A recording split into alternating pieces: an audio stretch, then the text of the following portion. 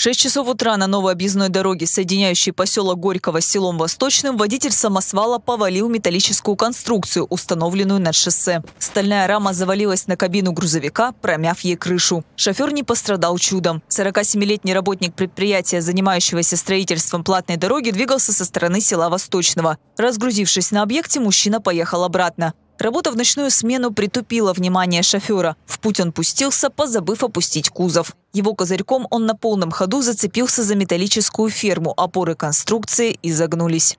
А из-за чего это все произошло? Ну, разгрузили, ехали, ну, ну, внимания не обращали, получилось так.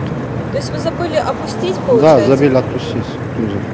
Стальная рама, которую повредил самосвал, задумана как опора для крепления видеоэкранов, на которых будет транслироваться реклама и полезная для автомобилистов информация. Видеопанели уже были закреплены, но еще не использовались. Насколько серьезно пострадала аппаратура, еще только предстоит выяснить. Фирма, которой принадлежит конструкция, пока не может посчитать убытки.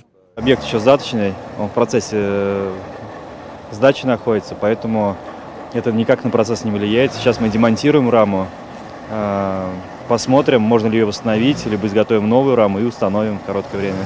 А ущерб примерный можете сказать? Ну, сложно, нужно оценивать, смотреть, поднимать. Движение большегрузных машин по этому шоссе было парализовано на несколько часов. Случившееся оформлено как ДТП. Водителю самосвала грозит многомиллионный иск. С места происшествия Анастасия Манина и Андрей Ауферов.